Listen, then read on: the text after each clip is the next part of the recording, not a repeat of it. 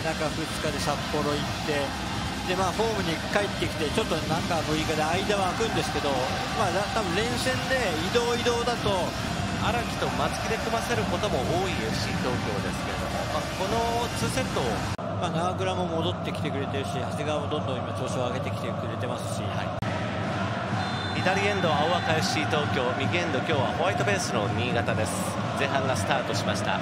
トーマス・デンからまずキャプテンの堀米ここで長いボールを1本使います。これはオフサイド。ああ中川触らず左から遠藤が来ました。これはオンです。遠藤啓太。遠藤打った先制 FC 東京！中川は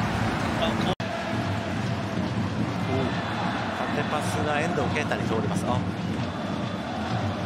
前半が終わったんですね。終わりました、ね、はい。保険を担ぐ選手もいればルーティンを持つ選手もいます。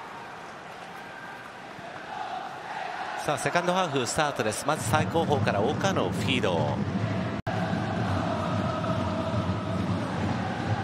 ライン間で受けます。長谷川からさあ谷口だ谷口。右に持ち替えてのコントロールショット。天皇杯でも遠藤啓太はスタメン出場して68分までプレーをしました、まあ、今日も同じぐらいの時間で。お強い松木。ここでキープすることに価値があります。左から野沢レオン。野沢。松木のシュートだ！トーマスだ！とリフレクション。一人でやっちゃいました、いや本当にがちょっと落ちる形でボール触る回数が増えるかもしれないですね、ええ、松田中入れてシュートだ。藤原がインサイド上がってきました。野沢レオンから受けた松木のサイドチェンジ。これはちょっと相手に当たってただ高川。甲が右へ展開。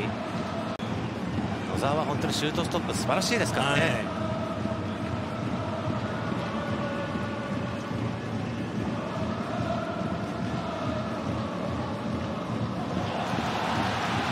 さあ右から。安西折り返しファーサイド野沢レオン。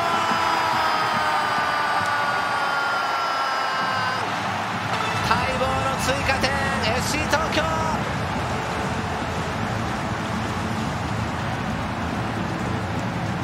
途中出場の若武者野沢レオン結果を残しました。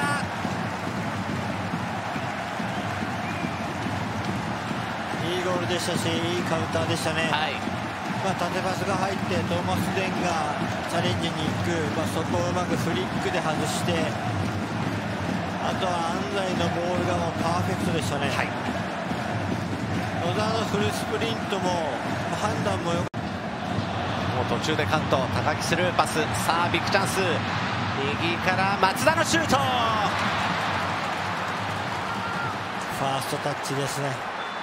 この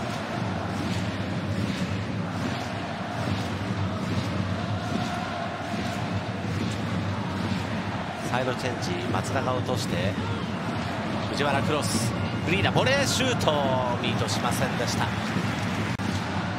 小野裕二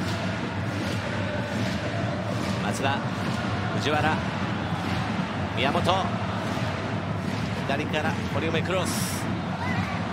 こぼれ球。小泉のクリアですもう一度拾ってシュートを狙った。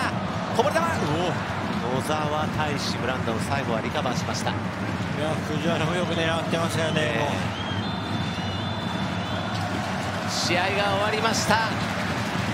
2対0ホームチーム FC 東京連敗脱出。松木玖生のラストゲームスリーポイントで花を添えました